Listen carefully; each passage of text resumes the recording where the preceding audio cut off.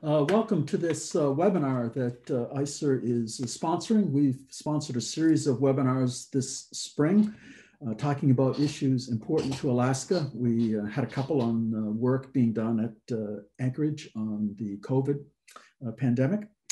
Today, we're going to shift gears. today, Brett Watson is going to present a some research that he and a couple of other folks completed.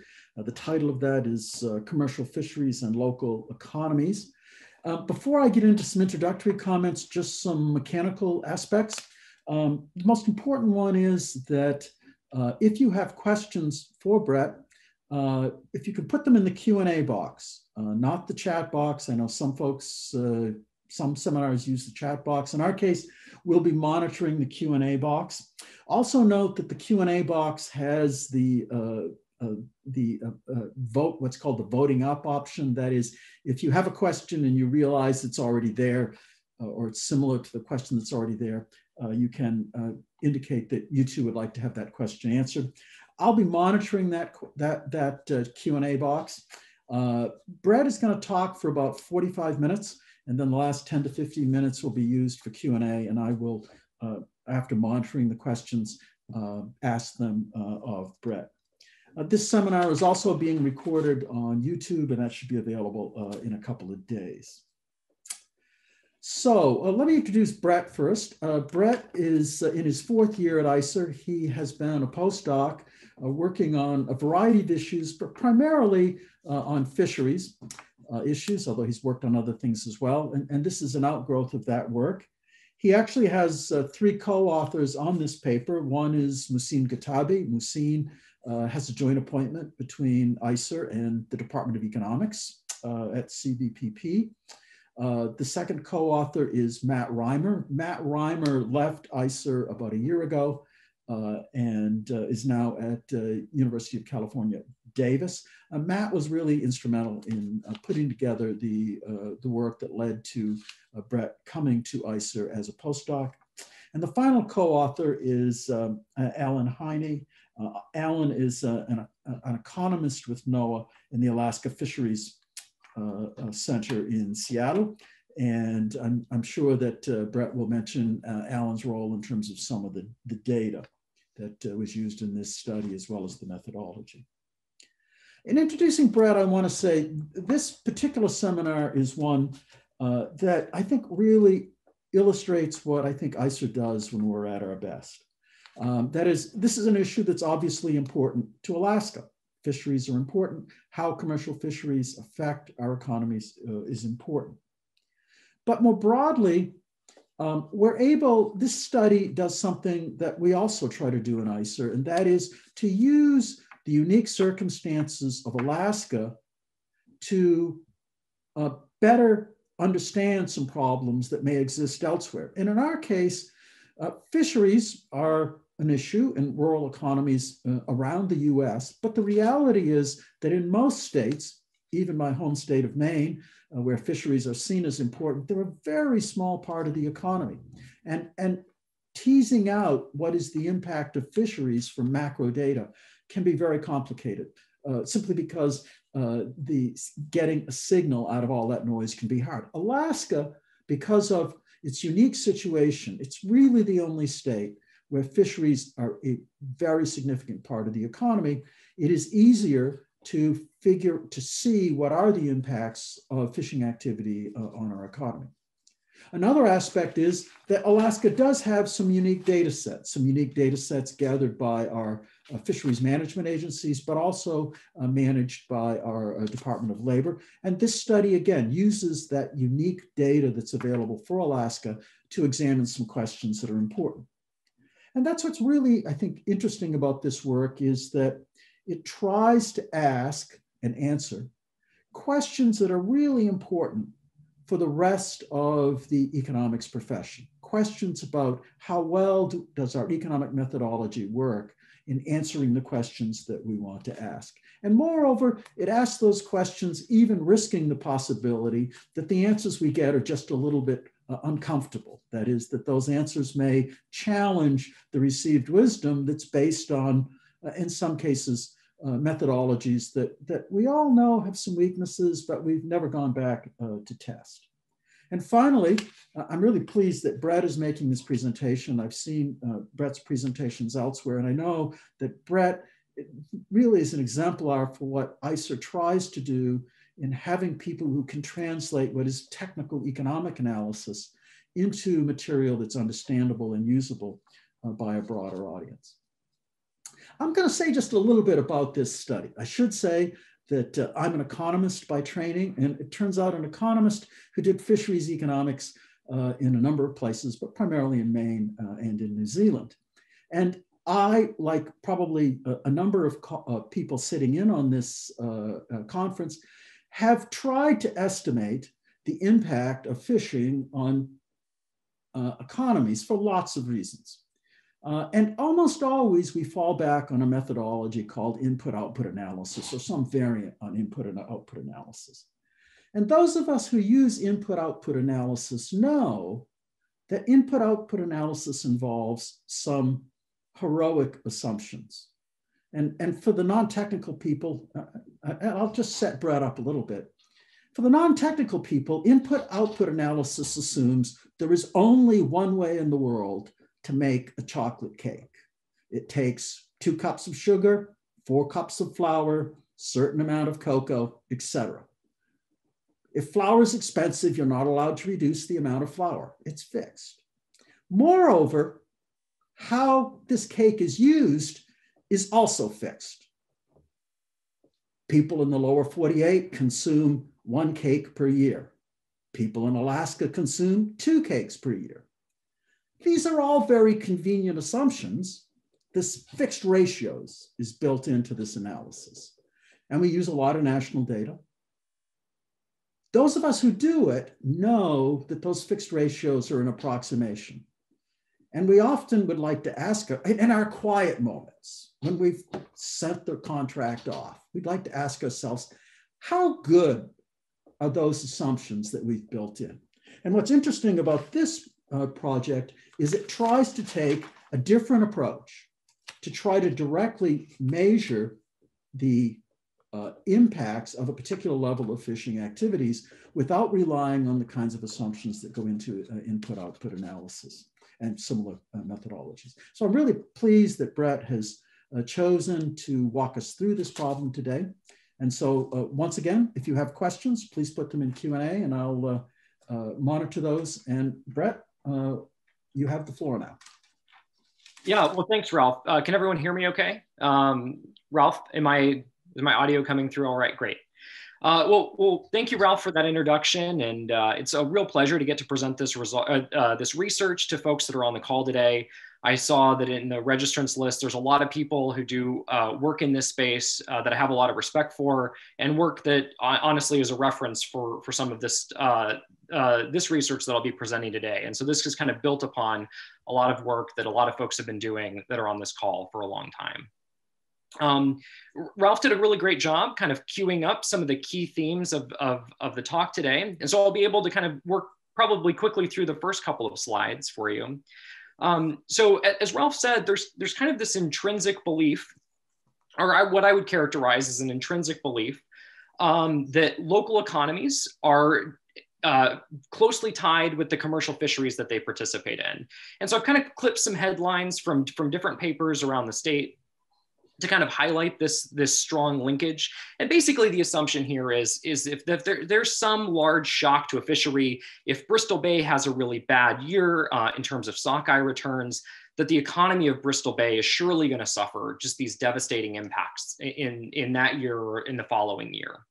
And as Ralph said, what we wanted to do in this paper is just kind of put that, um, that kind of intrinsic link to the test using some, some data.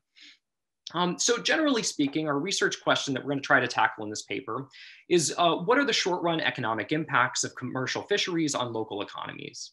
And I want to highlight that word short run um, because it's going to end up um, mattering a lot in, in both the, um, uh, the, the way that we frame this question a little bit, but also some of the limitations of the study. So um, importantly, we're not asking the question here, what would happen if commercial fishing were to disappear from the Alaska economy? That's a, obviously a very important question, but it's separate from the one we're asking.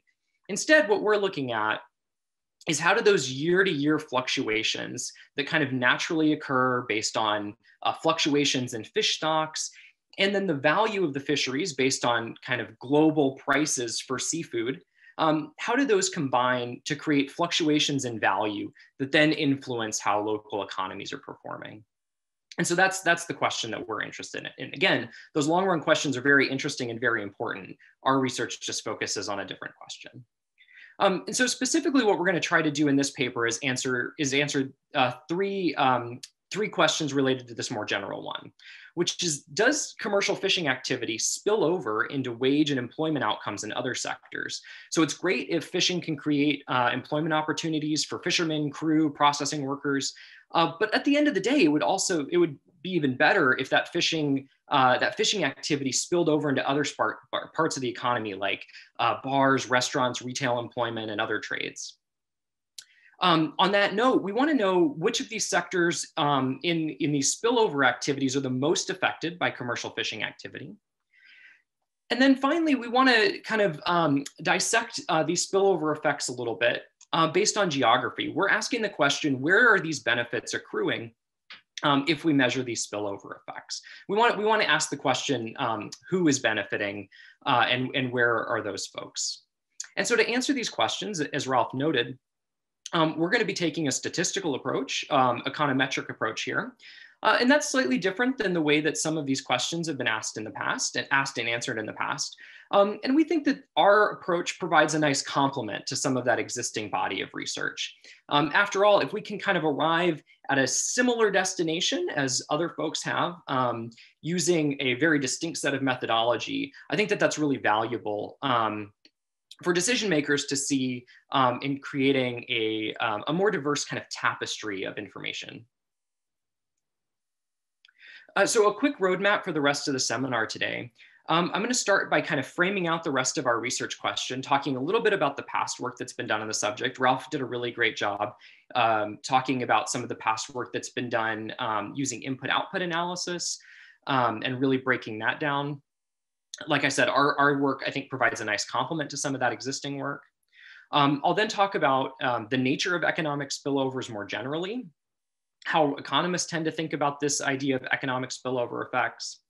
And then, as I mentioned, we we, we really want to try to understand where these benefits are accruing um, in terms of geography. And so we'll talk a little bit about the geography of fisheries.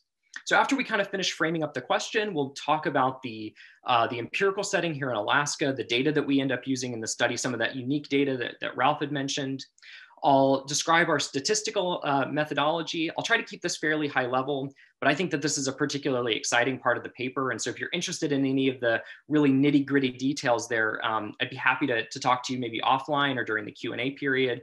I'll include my contact information at the end of the, uh, at the end of the presentation if, if you'd like to discuss that in more detail. Uh, and then we get to the more fun and interesting stuff, which I think is the results and then some of the implications of this research. So, so let's go ahead and dive in here. Um, so as Ralph mentioned, most of the work that's been done trying to answer this question of the economic impact of fisheries has used this input-output methodology. Um, so many of you may be familiar, or I think some of some of you on the presentation or on the call today might have actually created um, this uh, this study that McDowell puts out periodically on the economic impact of commercial fishing in Alaska, which is a really great resource. It's it's one that I reference myself um, pretty often. Um, but as Ralph noted, there's some really important assumptions that go into input-output methods that might be somewhat limiting um, in answering a couple of those more specific questions uh, that, that we are interested in kind of breaking down a little bit. And again, I think that there's a lot of value in, in this input-output methodology, and I think our work provides a really nice complement to it. There's also some work that's been done in um, other natural resource sectors uh, by economists, uh, looking at natural resources like uh, oil and gas, mining, timber, and what impact they have on local economies. We're going to be drawing a little bit from the methodology that other economists have used to look at other industries and then applying that to the fishing context. And as Ralph said, I think that one of the neat things about our paper is that um, is that we can speak both to these very specific fisheries issues in the state of Alaska and then provide some information that's going to be useful to economists as they think more generally about how uh, people and the natural environment interact with each other. So to talk about a little bit about the nature of economic spillovers here, we talk we use the, the phrase economic impact um, somewhat casually, but I think it's useful to talk about it in, in, in, a, uh, in a more specific way here. Um, and that's that uh, when we talk about economic impacts, we're talking about measuring the effect of an event on a given economy. And there's two phrases there, or two words there that are important to kind of hone in on. One is what we mean by an event, and one is what we mean by an economy. Um, so an event could be anything when we do these economic impact analyses. It could be a natural disaster, a government policy, or maybe closer to our context, a new seafood processing plant. And that impact could have um, uh, different effects depending on how we define the economy. Um, after all, an economy could be a neighborhood, a city, a state, a country, or the entire world. Or it could be particular use or um, groups of people um, interacting in those different places. So it's important to think about what we mean when we say an economy and to define more specifically what we mean by an event. Another useful concept from this, um, this framework that was developed by regional economists is um, to break down the total economic impact into three constituent parts. Um, so uh, regional economists like to think about total economic impacts as being the sum of direct impacts, indirect impacts, and induced effects. So um, going back to that example of a seafood processing plant, the direct effect of a seafood processing plant might be the jobs that are created by that plant, uh, the wages that are earned by those employees, or the value added that that processor is providing um, to, the, uh, to, the, to the economy. Um, but in order for that processor to operate, it needs to be able to secure some inputs um, into its operation. And so that, that processor might need some, some electricity to run its processing line. And so it might ask the local utility company to hook it, hook it up to the power grid. The local utility company might need to install, install a new power generating unit and hire a couple more people to service and maintenance uh, that unit.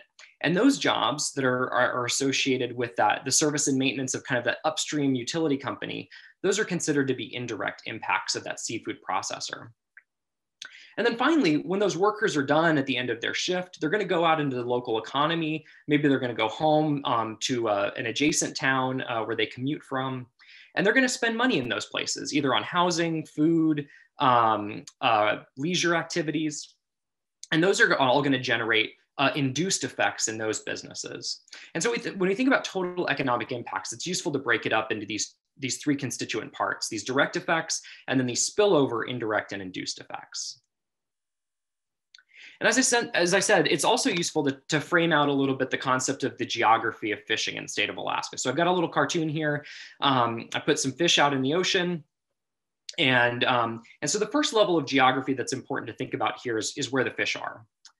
Um, the second level of geography that's important is, is, is where the fishermen are living. So in Alaska, we have fishermen that live in our urban areas like Anchorage and Fairbanks, um, but we also have fishermen that live along our coast. Um, uh, here I got little uh, uh, Xtratuf boots and Nome and, and Dutch Harbor, uh, but fishermen live across the state of Alaska. And that's a second important layer of geography as we're thinking about fisheries. Uh, we also have fishermen that live outside the state of Alaska. There's a strong contingent of fishermen that come up um, to fish Alaska seafood that reside in Washington state, Oregon, California, and even internationally. Um, so then these fishermen come up to the state of Alaska and they prospect different species of fish. They use different types of equipment when they do that prospecting or that harvesting. Um, and they might fish in different areas for these different species of fish. And so those three things, um, species, fi or fishing gear, and the area that they're fishing, those uniquely define a fishery. And fishermen might participate in different fisheries over the course of a year. Um, so once the fishermen have caught the fish, they need some place to take that fish to sell it. And that's uh, facilitated through uh, landing their harvest at one of the ports uh, on the coast of, of, of the state. Um, and so fishermen will take their catch and they'll land it at one of these ports. And that defines the third important area uh, when we're thinking about layers of geography here. Um, and so once the fishermen have sold their catch to a port in, in Alaska, um, then they'll return home and they'll take some of the earnings that they made uh, when they sold their fish home with them. And so as we think about these three levels of geography, where the fish are, where the fishermen live, where the fishermen land their catch, there's only really only two levels of those geographies um, that are going to be capable of facilitating economic impacts. After all, because there aren't any people that live in the ocean where the fish are, um, economic impacts really have to accrue either where the fish are landed or where the fishermen live. You know, there might be other people that are involved in the commercial fishing process. Um, for example, the processing workers or the crew that work on the boats, and their home communities are also important. But in our study, we're mostly going to think about these two levels of geography, where the fishermen live and where the fish are landed, as being uh, capable of, of, of receiving economic impacts from, from commercial fishing. And so here's kind of that same cartoon picture with some data overlaid on it. And so this is, this is data from the state of Alaska um, over the period of 2000 to 2015. And what these figures represent are the average harvest based on where fishermen live on the left side of the figure and where the fish are landed on the right side. So those two levels of geography that we mentioned that were important. Uh, the lighter colors here represent lower value of fish that are either caught by fishermen that live there or that are landed into those communities. And those darker colors represent higher level values. And the thing that I, there's two things that I want to highlight in this figure. One is that on the right-hand side figure, where fish are landed, we can see that there's not many landings that are going on in the interior of the state of Alaska. And that makes sense, right? There aren't any ports located in the interior. But if we look at the left-hand side picture, that doesn't mean that there isn't a commercial fishing activity that goes on in these communities. In fact, we have a lot of fishermen that live in the interior part of the state. Those fishermen are earning uh, revenues when they catch the fish, and then they're potentially bringing that revenue home with them uh, when, they, when they finish their trips. And so both of these types of places have the potential to ge generate economic spillover effects. Those, um, those port communities, potentially from those in, uh, indirect effects where they're purchasing inputs from upstream businesses, and they, then the induced effects. And then when fishermen return home, they have the potential to generate these induced effects too. Another area of the state that I think is worth highlighting is looking at some of the more rural boroughs or census areas in the state, like Bristol Bay, the Lake and Penn borough, and then the Aleutian Islands. We can see that there's a pretty large discrepancy there uh, between the value of fish that are caught by fishermen that live in those boroughs versus the value of fish that are landed there. So there are some really valu valuable fisheries out in the Bering Sea and Aleutian Islands, crab and groundfish, for example, that are landed in, in harbors like uh, Dutch Harbor but aren't necessarily caught by fishermen that live in that same community. And so we can see that that drives this difference between uh, where fishermen live and are generating value uh, and where they're catching their fish or where they're landing their fish.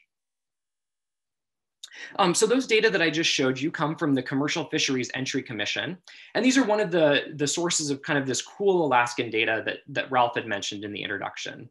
So the CFEC is a, the state agency that's responsible for administering the state's limited entry program, uh, which is how the state manages some of its more valuable commercial fish, species of fish like salmon. Um, but not all species um, that are that are caught in the state of Alaska um, are, are subject to this limited entry program, but the CFEC still collects a lot of data on those fisheries too. And so we're gonna use this database from CFEC to form the, uh, the basis of our fishing activity data. Uh, but then we also need some economic data too. Um, and as again, as Ralph mentioned, um, we also have um, some pretty cool data here um, that was created by the Alaska Department of Labor called the ALARI database. What's nice about ALARI is that they match unemployment insurance records with um, individuals' permanent fund dividend applications. What that allows us to do as researchers is trace jobs uh, to communities not based on where the job is located, but where the person actually lives. And at the end of the day, when we do economic development or we're thinking about economic impacts, we often want to think about um, the impact to the places where people live, not just the places where people work. And so, and so making that distinction is important. A lot of federally facilitated data just measure jobs based on where, um, where the job is located. And so being able to, to actually observe where the jobs are tied based, to, based on where the person lives is, is pretty unique to the state of Alaska and, and, and a really great uh, source of information for us. So ALARI has data on uh, 344 communities in their database. We're going to end up using data from about 200 of those communities. Um, a requirement for our statistical model, which I'll present in just a second, is that a community has to see uh, two consecutive years of commercial fishing activity in order for us to estimate a, an effect for them. And so, um, so about 200 communities in the state of Alaska met that criteria. Um, so our data is going to cover the, the period of 2000 to 2015. Those were just the years of data that were available from ALARI when we, uh, when we conducted the study. Uh, so that's the time period of our analysis here. Uh, we're going to supplement some of this data uh, with some other economic information, for example, from the IRS's statistics of income data, uh, which report um, adjusted gross income uh, for every county in the United States annually.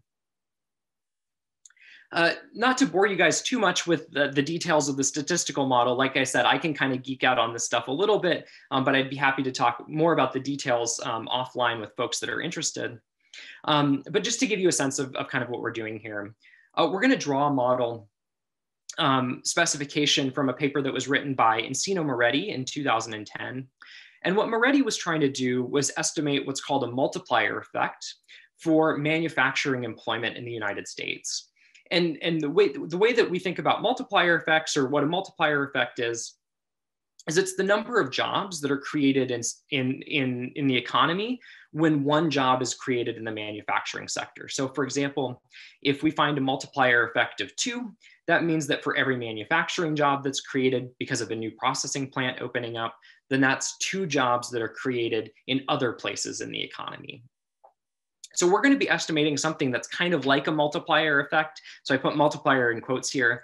Um, the difference between what we're estimating and a multiply, it, it, we're, what we're estimating in a multiplier effect um, more technically is um, a little bit too in the weeds, I think, uh, for this talk today.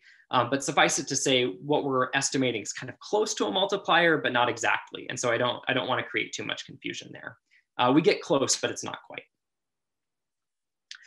I also want to spend a second talking about um, the difference between correlation and causation. Um, whenever, uh, whenever you see somebody present uh, statistical results, this is always something that should be at the forefront of, of your minds, and is certainly as a practitioner is always at the forefront of mine.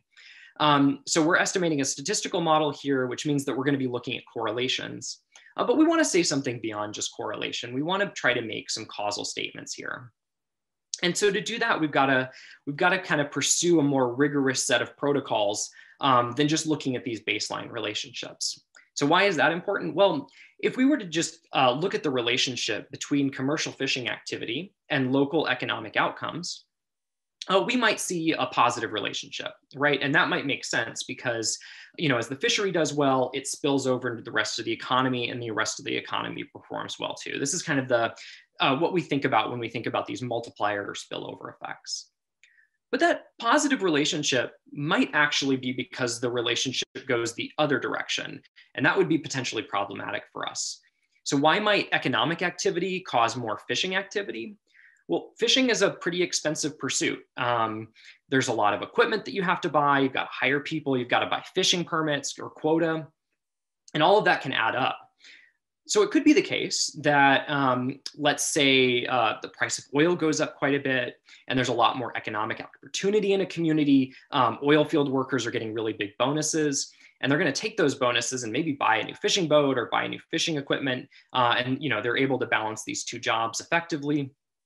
And so it could be the case that the positive relationship that we estimate statistically is just a result of, of that, uh, of, of, the relationship flowing that other direction, the one that we don't necessarily want. Um, and so we're gonna take a couple of different approaches to addressing that problem to try to say something beyond just pure correlation here, to say something causal. And in my opinion, this is one of the most fun and exciting parts of the paper is the way that we address this particular problem uh, we use a strategy called a shift share instrument or a Bartik instrument. There's a lot of new research and exciting research that's been done that's kind of put some, some scrutiny and additional tests that you can employ to make sure that you're really getting good estimates that are generated from, from this type of approach. And again, I don't want to I don't want to bore folks too much with the details here, but just suffice it to say that this is something that we've thought about. I think it's one of the cool parts of the paper. If you're interested in more of the specifics there, you should feel free to reach out to me and I'd be happy to talk more about it. All right, so now let's talk uh, about the really fun stuff here, which is, which is what we find after we estimate the statistical model. Um, so we're gonna look at two sets of economic outcomes. We're gonna look at employment outcomes and we're gonna look at income outcomes. And we're gonna use two different units uh, here when we make them, uh, when we make these measurements. Um, employment, we're gonna estimate in jobs per million dollars of fishing activity terms. And then for income and wages, we're gonna estimate those uh, in dollars per dollar terms. So just note the different units there. We're going to measure these two types of um, two types of outcomes for, uh, for different components of the economy. Um, so on the employment front, we're going to measure uh, several direct types of effects. So we're going to look at crew workers that work on the, the vessels and help the, the fishing permit owner harvest the catch. And then we're going to look at processing workers. These are the folks that are, um, you know, processing the fish when they arrive at the ports, uh, heading them, gutting them, packaging them, getting ready for them to sell. Um, but quite a few of Alaska's processing workers are actually based outside the state. Something like 80% of Alaska's processing workers are actually not residents of Alaska. And so um, we want to try to take this into account and decompose uh, processing labor into both an Alaska resident component and a non-resident component. So we'll look at those separately. So those are the direct effects. Then we'll look at the spillover, uh, indirect and induced effects by zooming out and looking at all employment across the entire local economy uh, to look for these spillover effects. Then we'll kind of decompose those total spillover effects into two main sectors of the economy, the traded sector and the non-traded sector. In Alaska, the traded sector of the economy is mostly oil and gas jobs, um, but there's also important traded sector jobs in mining, timber harvest, uh, commercial fishing uh, in the processing sector, and then a little bit of agriculture. Uh, the non-traded sector is just all other parts of the economy. So we're going to break, uh, break these spillover effects into those two constituent parts. Then we'll look at, I think, ultimately what matters at the end of the day. It's great that people have jobs, but people want paychecks. And so we'll also look at income and wage effects of, of commercial fishing activity. As I mentioned, one of the key questions that we're interested in here is the geography of where these benefits are accruing. So we're going to look separately at these effects based on where fishermen live and then where they land their catch. All right, so let's take a look at, at the results that we get um, when we estimate the relationship between uh, fishing activity and these different economic outcomes based on these two, uh, two geographic definitions.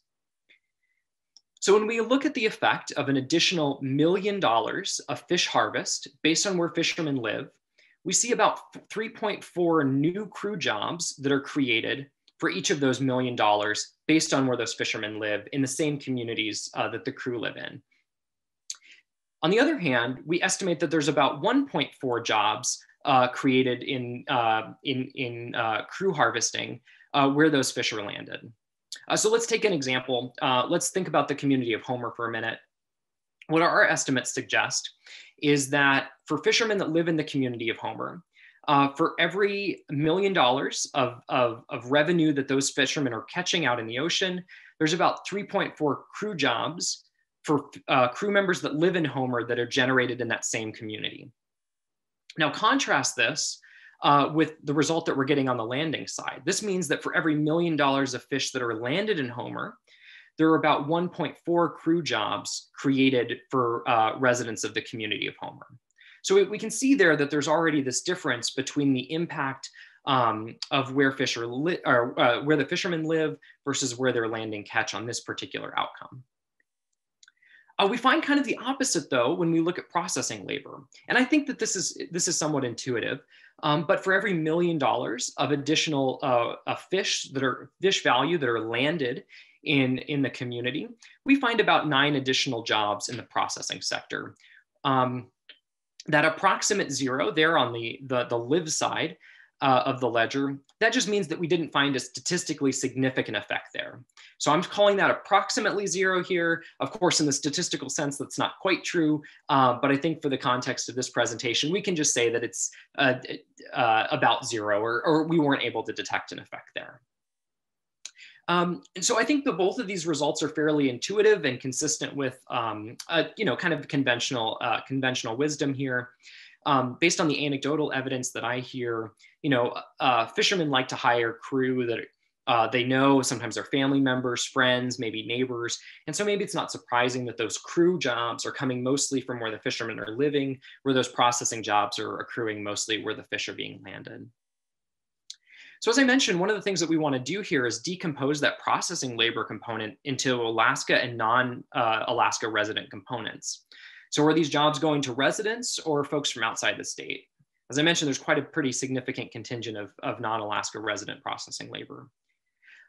Uh, we basically find no effect for Alaska residents. Um, when additional catch is either uh, harvested or landed into a community. Um, instead, most of the additional processing jobs that are created uh, when new catches landed are going to non-resident workers. And again, just because of this large chunk of these non-resident processing workers, I think that that makes sense. So those are the direct effects. We have direct effects in this crew harvest sector. Uh, we have direct effects in total processing. Obviously, they're a little bit different for uh, Alaska residents versus non-residents based on where fishermen live or where they land catch. But are there any spillover effects from, um, from this activity into, into indirect or induced effects? And so we look at all employment across the entire community based on where fish, fishermen live or where they land catch. And so we do find spillover effects.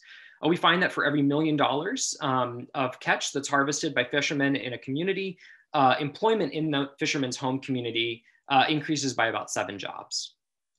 Um, on the landing side, we find about a two job increase for every million dollars of harvest that's landed into a port community. Um, and so that, that suggests that there are, are potentially these spillover effects um, from commercial harvesting activity or from commercial fishing activity.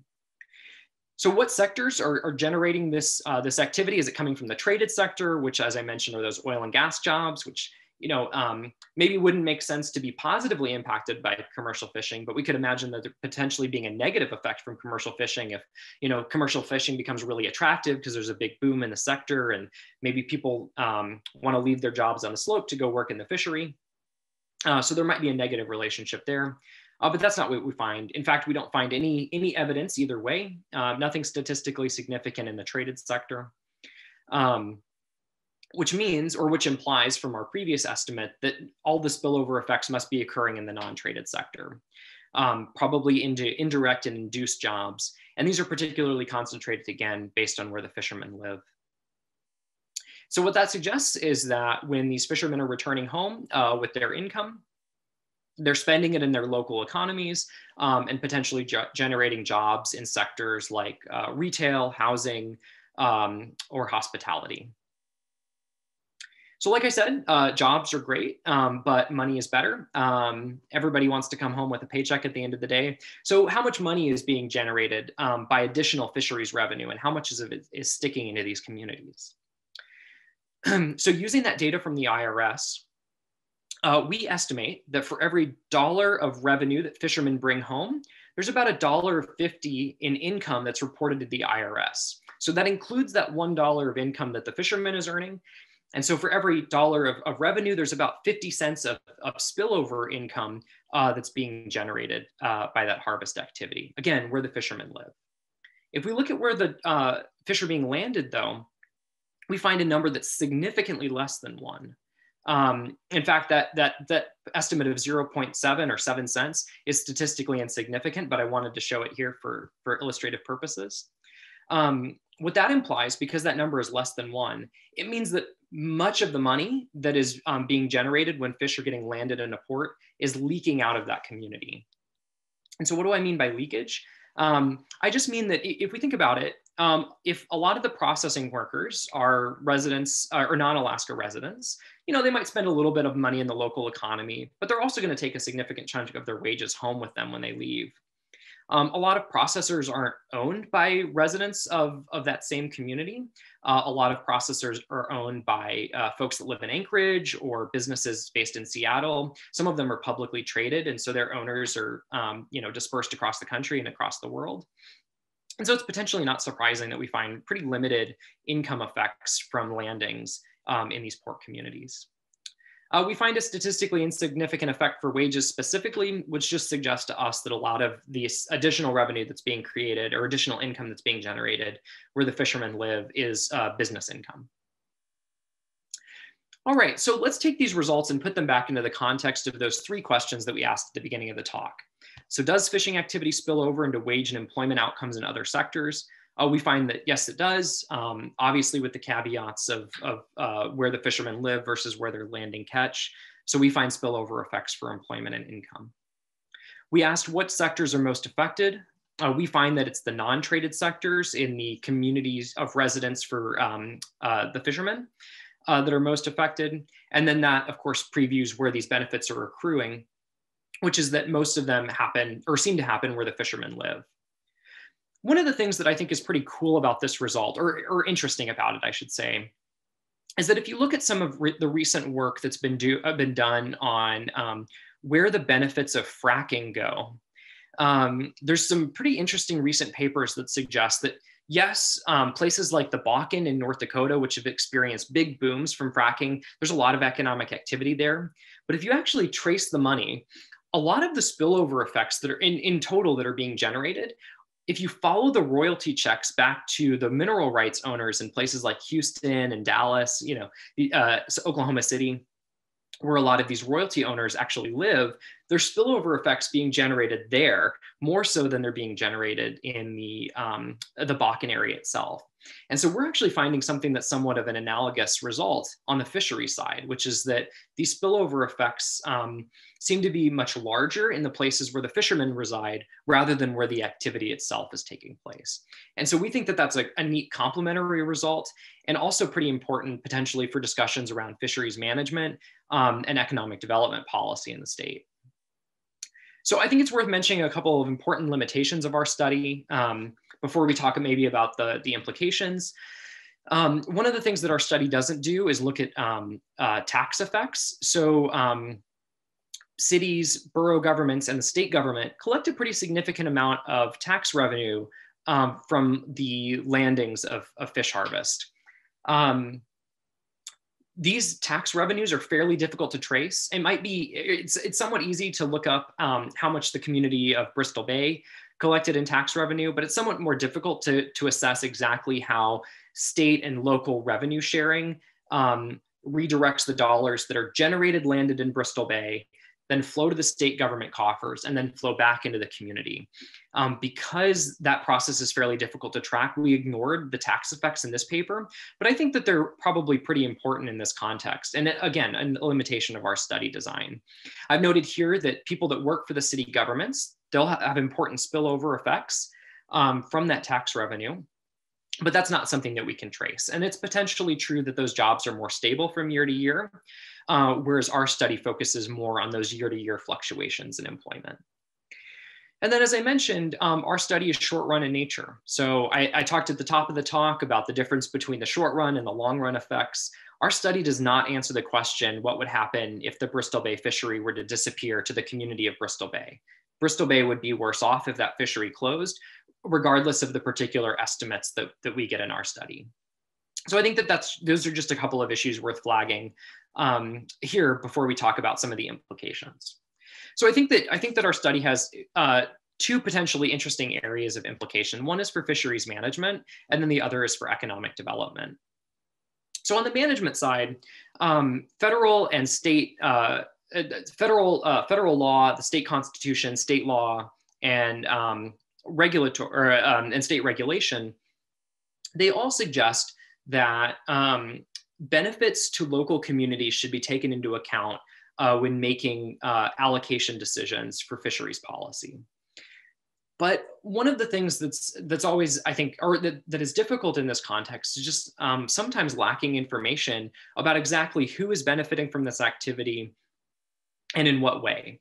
And so that's one of the things that I hope that our study helps to make a contribution to as fisheries managers are making decisions is, you know, they are often called upon to prioritize these user groups. So for example, there's often discussions around whether to allocate, um, you know, certain species of fish to a commercial fishery versus uh, a sport fishery, and then what are the economic impacts of those various channels. And those are really difficult questions to answer. And so one of the things that I hope that, that our paper does is kind of takes a step forward in making a contribution to understanding those issues. And then I think on the economic development side, um, communities are often tasked with this, um, with with the question of, you know, how do we grow our, our economy? How do we use the resources that we have to the benefits of the people that live in our community? And I think that one of the things that our paper does is, is highlight that difficulty um, in making some of these decisions. So communities often, for example, will co-invest um, uh, or make uh, or, or create tax uh, tax incentives for uh, local processing facilities to open up um, in their area. And I think one of one of the paper one of the things that our paper shows is some of the challenges associated with turning that that initial investment into these economic spillover effects downstream. And so that's just something that I think is worth highlighting as communities think about making some of these investments is, you know, how, how can we work to create more of these spillover effects in those communities where this processing activity is happening? And maybe that's potentially through something like capturing more of that value chain. So we talked about these indirect effects from a new processor opening. You know, how do we make sure that the inputs that a particular processor are using, or maybe even are, are sourced in the community? How do we how do we encourage more local local labor hires? To go work in that processing processing facility? Um, can we create more value added in that processor um, by creating a, a, more expensive product that's eventually sold maybe directly to the end user? These are all just potential ideas. And so like I said, I, I hope that our, our paper and our, our research contributes to this broader conversation. I think it's just one of, of, of many things uh, that needs to be done in, in, kind of this field of, of study. And it's one of the things that we hope to contribute more to in the future as ISER continues to do, um, I think, uh, really cool research on, on this front of, of state fisheries um, and, and local economic outcomes. So with that, I think it's, it's worth um, turning it over to our Q&A period. Um, I, I, wanted to include some links here. Um, so if you're interested in, in reaching out to me and, and maybe having a follow-up conversation, I've included my email here. Um, and you can also follow me on Twitter. I, I uh, tweet a lot about, about Alaska fisheries issues on Twitter. And then there's also a link in these slides to the full version of the paper. If you're interested in, in looking at the paper, having access to these slides or reaching out to me, a lot of that contact info is gonna be posted in the webinar chat. And so with that, I think I'll turn it over to uh, Ralph, who will facilitate our Q&A period. Well, Brett, right now there aren't any questions in the Q&A. Uh, you were obviously uh, brilliant and generated no questions. But, but I'll, I'll ask a couple, uh, and, and I think they might be ones that are on the minds of, of folks. And, and let me get to the first one, which often comes up in economic studies, and that is you use data from 2000 to 2015. How come we're always stuck with old data? On economic studies? yes. Well, no, that, that's a great question. I mean, so, um, you know, one of the things that we do in this paper is, is it, it, it really is a retrospective analysis. So when we do these statistical type studies, uh, we, I, I, I think that, I mean, the, um, the IO framework that you had mentioned is a little bit more perspective in nature, more forward looking. Um, but as we do analysis that's more forward looking, it often requires making more bold assumptions about the future. Looking backwards usually requires making fewer assumptions. We can let the past speak for itself. And so that's one of the reasons that we often have to rely on past data to answer some of these questions.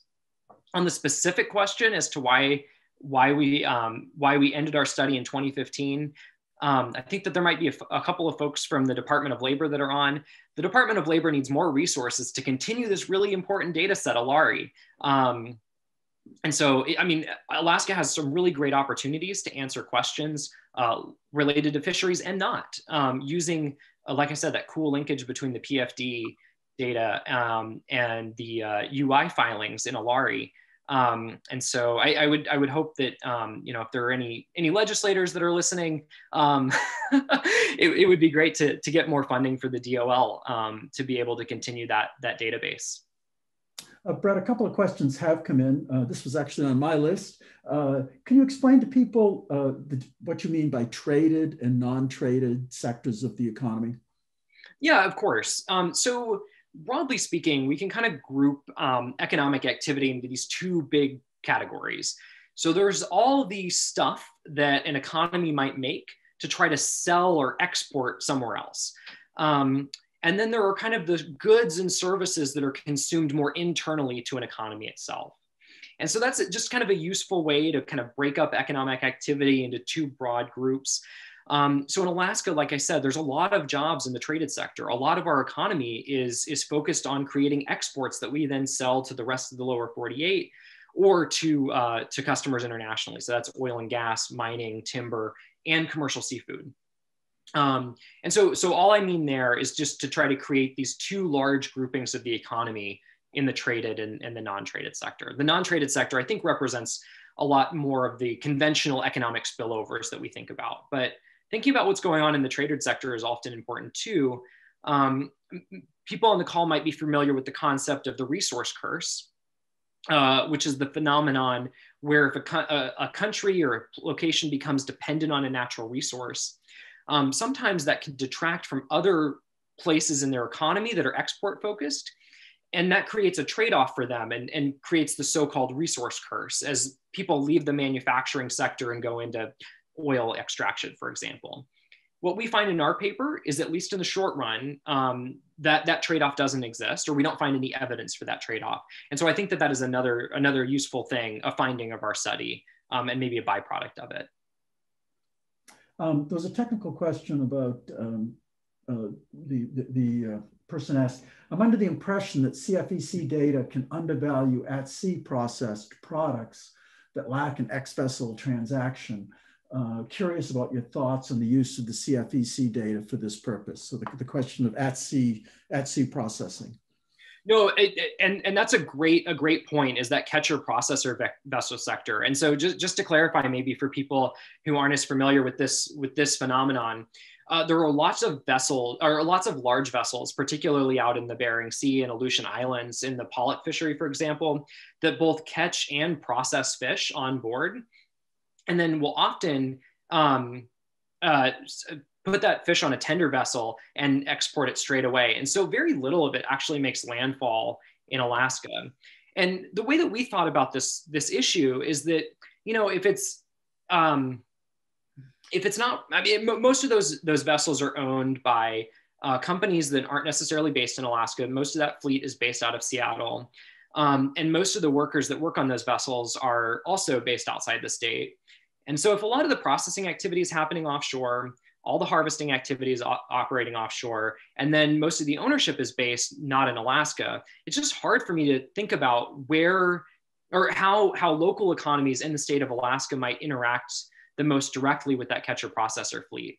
Um, but I think I think it's an important question and a limitation of our study, honestly, um, and it probably should have been noted in that slide. But I, I think it's a great point.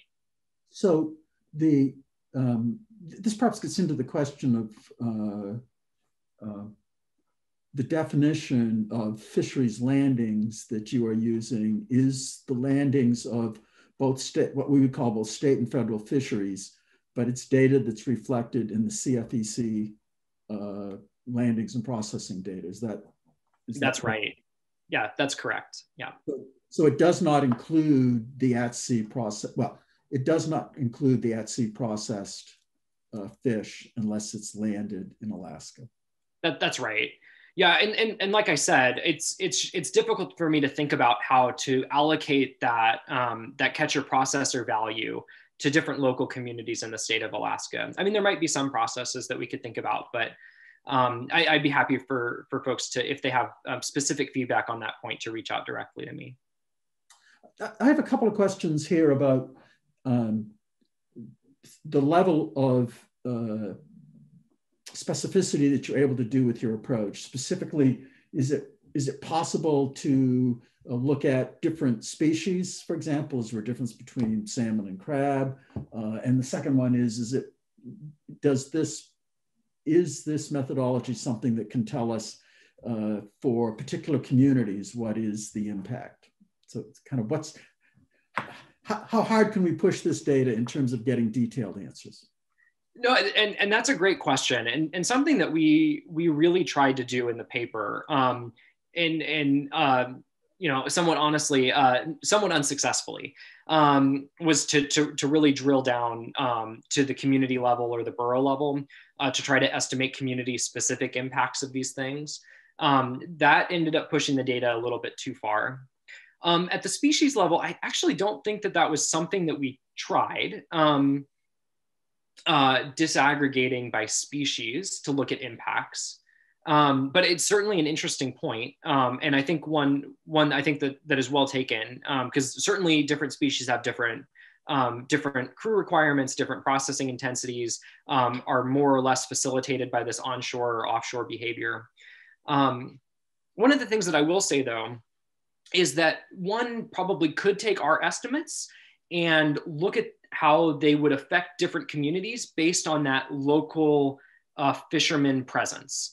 Um, and so, so the, the general conclusion that we draw from our paper is that having a strong uh, local fisherman fleet um, is somewhat more important than having um, kind of a large processor presence, just in terms of generating those spillover effects. And so you can imagine the types of communities that fill, fit into those two categories and sort of start to think about that, that heterogeneity across the types of communities in Alaska. More resident fishermen, the better. Again, I have a specific question about uh, your data and measuring crew data. Um, obviously, there's always an issue about covered employment versus self-employment in a number of the, particularly the, the shore fisheries. So can you talk about how well you think your crew data actually catches, to, uh, captures uh, total crew employment? Uh, great point. Um, yeah, so we we our our crew data came from the um, Alaska Department of Fish and Games database. They produce um, they produce annual estimates of the number of licensed crew members um, based on the address that those crew members provide um, when they file for an application, uh, a permit, crew license permit. Um, and so, you know, those, those data are as high quality as the information that's given to Alaska Department of Fish and Game. And, and, and the, as the, the questioner rightly points out, there's likely some error in, in those data, um, misreporting of, of home residents of, of, of crew, um, and then some, some folks that are kind of operating under the table. Um, you you touched on uh, the study that had been done in the uh, the Bakken in North Carolina along those same lines. Where is the impact? Are there other studies that um, get into measuring how the the impacts between where owners live and where employ where the economic activity where owners and employers live employees live and where an economic activity takes place are there other studies of that sort I, I, can't think of any off the top of my head. Uh, the reason that I cited that one is it came out uh, very recently in the last year or so um, by a few authors that I really respect. Um, and I just had the opportunity to interact uh, with them at a, at a, conference recently and was talking about some of our research and they were kind of talking about how it rhymed with some of the work that they were doing. And, and like I said, I, I think that that's kind of exciting just as we think about these broader implications of the interactions between um, natural resources and local economies and how how like i said there's kind of these rhymes between them um, as as we kind of drill into more specific sectors. Um, I, I, think that that's interesting and um, I, I, don't know I, uh, I, think could be the basis of future work in, in other natural resource sectors to see if if those same patterns emerge. So an opportunity for potential research there. I guess i'll close with a, a question about um, your analysis comes up with an estimate per community, but obviously communities aren't homogenous. Uh, a community, if a, if a, uh, a fisher lives in Anchorage, they can buy most of the things they want in Anchorage. If they live in uh, a, a, a, small rural community, uh, they may not be able to buy many of the things that they need. They may have to uh, buy them in Anchorage and have them flown in or, or, or whatever. So are there diff, sh should we expect, did your analysis get into the question of, uh, is the impact of uh, these economic impacts of, of where people live, does it, does it, is it likely to vary by uh, the type of the community? And if so, does your study get at any of that in any way? Yeah, I mean, it, that was a hypothesis that we tested. Unfortunately, we weren't able to draw any um, uh, any robust conclusions from it. Um, there potentially is just too much underlying, too many underlying differences between these communities, even after we grouped them. So we we tried to split the day, data every way we could think of, um, but particularly across the dimensions that you mentioned, which is kind of the more rural versus urban communities in the state um, and weren't able to draw any any um, any robust conclusions from that analysis. But I think that it's a really important point, which is just that some communities are really, I think, set up to take these spillover effects. They've got these linkages throughout the economy. They've got robust retail and, and leisure sectors where, where people can spend dollars at. And some communities just aren't equipped for that. And so this is the Alaska leakage problem more generally, that a lot of the dollars leave the state pretty quickly because so much of so much of the stuff that we buy in the state needs to be imported um, the goods and obviously that applies at a more local level as well so but so, it's a great question yeah so I can I can spend my money at the local Walmart, but the markup at the Walmart is pretty small. The money is really going out of state, anyways. Is that sort of the point? Yeah, that that's right. Well, we're at the end of our hour. Thank you very much, Brett, for uh, presenting this work and for uh, taking the time to answer some of the questions that came up. Again, folks have on the screen uh, some contact information uh, uh, to contact Brad if you have follow-ups. I know from the list of participants, there are some folks out there who I'm sure will love to get down and dirty with Brad about the technical details, the data and the estimation. And please do feel free to reach out for Brett for that. So thank you very much for joining us uh, today. And hopefully we'll see some of you at uh, future ISER webinars. Yeah. Thank, thank you all for joining us today. I, I really appreciate it. And again, if you have any follow-up questions, uh, my contact info is, is on the chat. So thank you all. Bye-bye.